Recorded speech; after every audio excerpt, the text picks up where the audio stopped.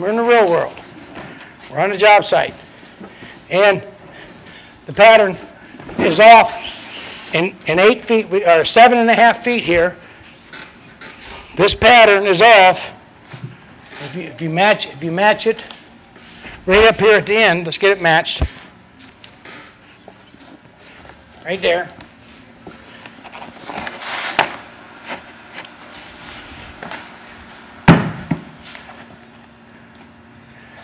And if you look, this has a little bit of a,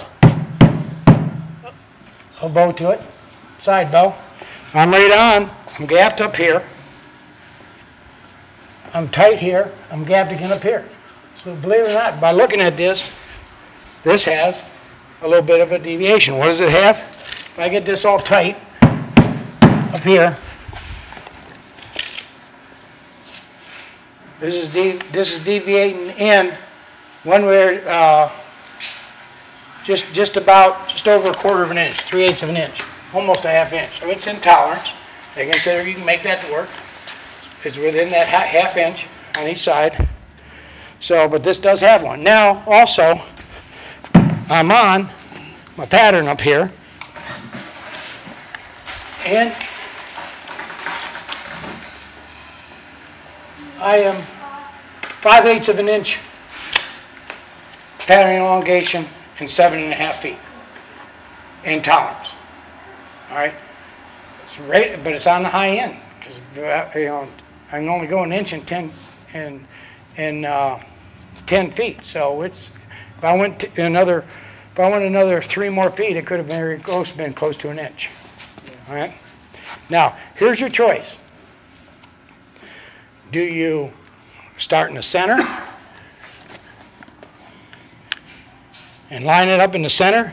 Now, that's only gonna give me, going each way, it's off each way. I only gotta work with it about quarter inch each way and get it to line up?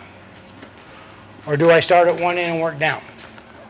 If it's only running off this much here, I'm gonna start at one end and work my way down. All right? Now, Or there- if you have a big room, you gotta start in the middle? If you have, if I had, now, if I had, if I had a big room, okay, and I rolled it out, and if I had a room that was a twenty-foot long seam, and I'm only running three quarters of an inch and twenty feet, I'll probably start at one end and work up. Because I can pull, with the products I have and the tools that I'm using, I can pull that along and move it up with no problem whatsoever. Now, if I had twenty feet and I had two inches, to deal with. Then I'm going to start it in the center and work an inch both ways. So, so it all depends on what my pattern elongation is on how I'm going to work it. All right? Running your iron underneath, that you're running underneath, is not what does the damage. It's when you're pulling your seam weight up because you're getting the top fibers hot and now you're bringing them up the other way, it can cause you to uh, change that, give a shading of the pile direction. There again, you have a couple options. I'm going to still run it against the grain, but when I move my weight, I'm going to pick it up and set it down. I'm not going to pull it.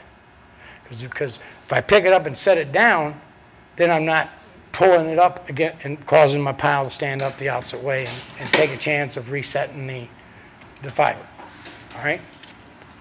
Now, when we're gonna use that with a cool glide there, doesn't matter, because the heat's heating from the bottom up, fibers aren't getting hot.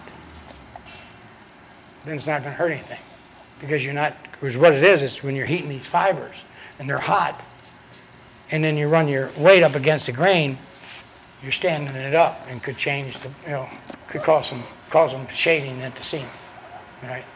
So, yeah, you know, but it's not, again, there again, what you're gonna do, you're gonna do one of two things. You're gonna say, okay, I'm gonna get my, I'm gonna get my pattern elongation out of, stay nail it here. Bring it, uh, if it's a long room, twenty foot room, I'm bringing my dead man in.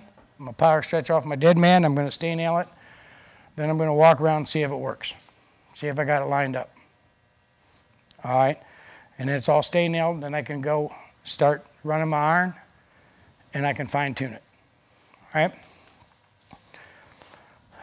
call me a little bit of a control freak if you want. I like to have control of what I'm doing. And that's why I don't drink, you know, because that way I can never get blamed for something I didn't know I did.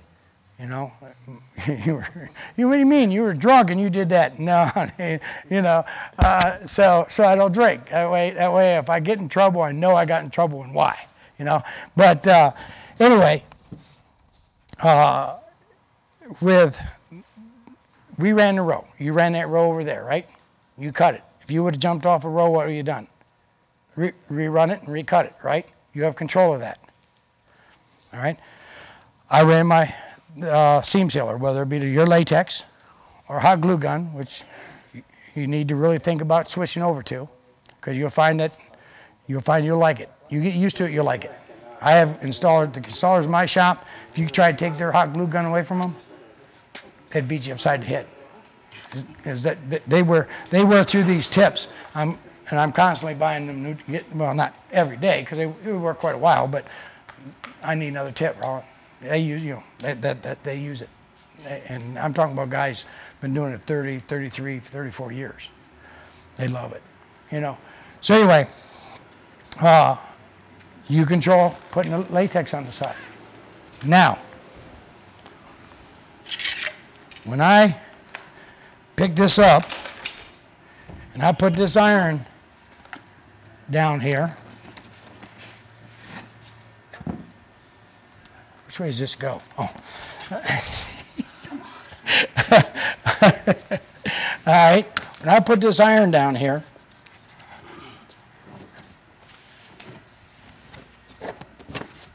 now, who has control? No, I don't. I don't. I, I just lost control of this seam. Why? That that iron's got to move at a certain speed, right? If I don't move that at a certain speed, I can overheat the back of the carpet.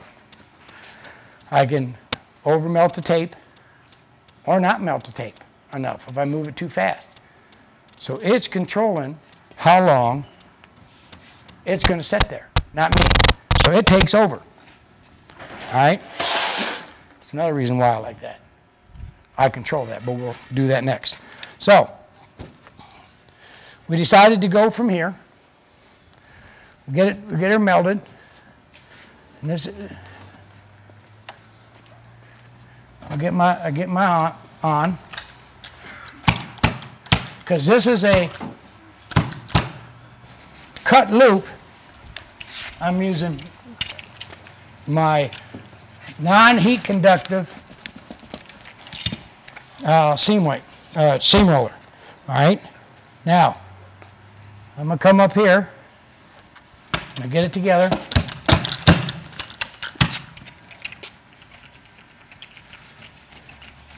Now, if this, if I'm using my regular weight, all right, I've got a little bit of a gap here where it's, where it's pulled apart a little bit. When I move it up here now, see the gap? What I got to do? I got to do this. All right? It's possible. Have you ever had it to where you had it nice and tight, all of a sudden you notice you had a, a lippage that overlapped? When you do this, if this is still hot, it could give it to where it popped up and give you a little bit of lippage. I'm going to bring this down. Feel the weight. Grab it at.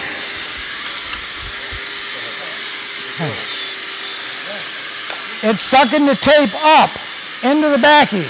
It's locking it in place. And it's cooling it at the same time. Right? Now I can move this.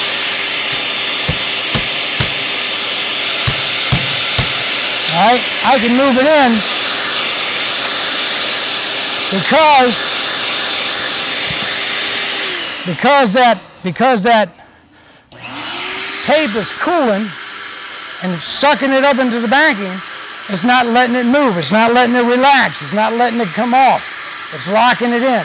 It's bringing that tape tight right up into the backing and cooling it right away.